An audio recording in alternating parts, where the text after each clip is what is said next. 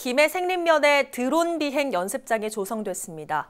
생림면 마사리 딴섬 생태누리 공원 내에 9,900제곱미터 규모로 들어선 드론 연습장은 다음 달부터 2개월 동안 시범 운영에 들어갈 예정입니다. 드론 비행 연습장은 누구나 자유롭게 이용할 수 있고 매주 토요일 드론 기초 이론과 체험 프로그램을 열 예정입니다.